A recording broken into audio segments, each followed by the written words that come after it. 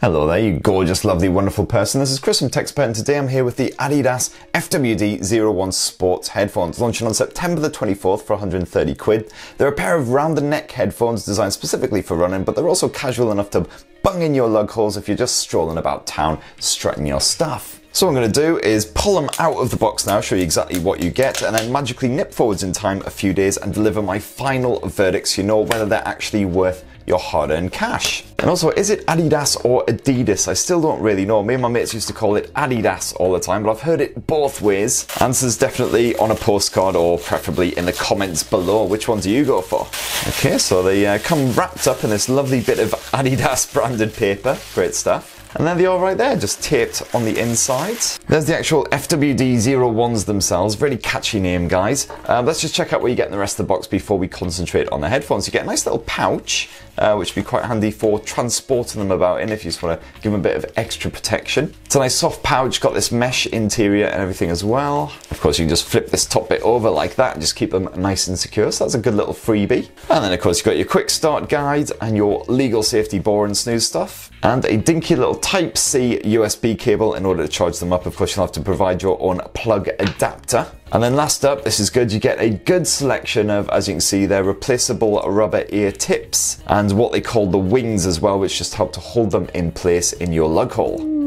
So, fast forward a few days into the future, been rocking the Adidas in-earbuds for about a week or so now, and not liking them quite as much as the OnePlus Bullets Wireless 2 for just sort of everyday shenanigans, but if you do a lot of pavement pounding, then definitely these things are pretty well suited. And first up, of course, it is quite a chunky design on these bad boys. Thankfully, they don't weigh too much. They weigh roughly the same as the likes of the Powerbeats Pros. Uh, so once you've actually got them in there, it doesn't feel like your earlobes are being tugged on or anything like that. You do, of course, get a selection of interchangeable ear tips and wings bundled with the Adidas FWD-01s. I had to experiment with different combinations before I found the most comfortable setup for me. And top tip, you may find that you need a different combination of wings and tips for the left and the right ears if they're slightly asymmetrical like my bloody ear holes are. Once I found what seems to be the perfect balance for me, the earbuds, they just kind of lodge in there nicely. They feel nice and comfortable, don't feel like they're pressing on the ears at all, and I don't feel like they're about to fall out at a point even if I am absolutely sprinting it. And of course, the best way of showing this off is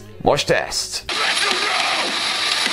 Oh yeah, neck feeling nice and loose now. And of course, just important is the comfort levels. And just like the Powerbeats Pro, which I've already reviewed, I found that these Adidas in-ear buds, they stay in there nice and comfy. Uh, don't feel like they're pressing on your lobes or your inner ear canal, anything like that. Uh, so perfectly fine for a couple of hours down the gym, even if you're going to be moving around a lot, sweating, things like that. And speaking of sweating, these Adidas phones are IPX4 rated water and sweat resistant. So absolutely fine. Again, if you are a bit of a sweaty Betty, you'll find that that sweat doesn't infiltrate the earphones and bugger up the sound quality. Unfortunately, the Adidas buds do pick up crud rather easily, just little bits of debris that gets lodged in all those cracks and kind of spattered all over the surface. You definitely want to give them the occasional wipe with like a baby wipe or something to keep them looking pristine. And one design feature that I do really like is this knitted tangle-free cord as well, which holds the two buds nicely together. It just feels really nice and soft. It feels good against your skin rather than those usual rubbery efforts. As I say, they don't get tied in knots if you just like bung them in your bag or something like that. It's nice and easy to unfurl again. And so far feels really tough and rugged as well. You can put it through a good bit of abuse and no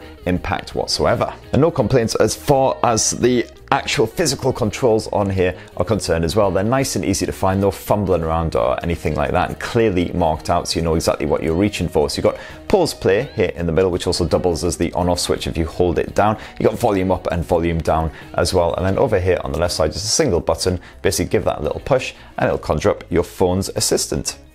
Like so. Well, the earbuds also have a magnetic attraction just like the OnePlus Bullets Wireless 2. So as you can see, stick them together and boom, they just sit there rather nicely around your neck like a kind of necklace. And also when they're stuck together like so, it also automatically pauses your music so you don't have to go fumbling for your phone or the controls or anything like that as well. Nice and simple. It's not quite as solid a connection as you get on the OnePlus Bullets Wireless 2. Unfortunately, I do prefer those nice flat edges where it's quite obvious where you need to be aiming for. With here, it's a bit more like, oh, where does it go? Oh yeah, there it is. But still, does the job. That goes all about one of the main aspects of any pair of headphones or earphones, which is of course the audio quality. And again here, the Adidas definitely does the job if you're in for a bit of rock music, bit of dance music, something with some real punch. You get some proper strong bass reproduction here, so the likes of pound and drum beats, nice bit of guitar riff action, things like that just sound absolutely fantastic through these things. Very impressive, especially considering the size of these things. They're definitely a match for the likes of the Powerbeats Pro. Of course, if you're after some more mellow music, well, they still sound absolutely fine to be honest, but let's face it, who goes jogging to a bit of Tchaikovsky anyway? However, I did find that these Adidas buds don't really offer anything in the way of noise cancellation. There's no active noise cancellation, and as far as just simply wedging them in your ear holes and hoping they block out the surrounding sound as well,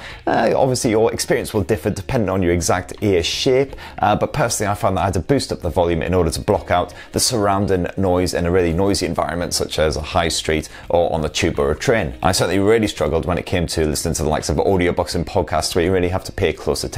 As for battery life, well, Adidas reckons you'll get about 16 hours of use on a single charge. I found that my personal experience was closer to the 12 hour mark. However, I wasn't very strict on actually switching off the headphones. I left them in standby mode quite a lot. So if you do turn them off when you're not using them, perhaps you'll get closer to that 16 hour result. And the good news is these buds can be recharged using a Type-C USB cable. So you don't need to worry about bundling extra chargers with you when you go off on trips. It should take the same charger as your smartphone. And they support fast charging as well. So just half an hour a plug will generally give you around 80% battery life, a little bit longer for a full charge. So that's what I think of the Adidas FWD-01s after around a week of use. As I say, for everyday general use, I prefer something like the OnePlus Bullets Wireless 2, but if you're going to be doing a lot of jogging or hitting the gym quite a lot, the, uh, the sweat-proof design, uh, the general feel of them and everything, definitely very, very strong contender for one of the best jogging headphones out there. So thanks for watching everyone. Please do pop subscribe and ding that notifications bell for more on the latest greatest tech and have yourselves a very fine week. Cheers everyone. Love you.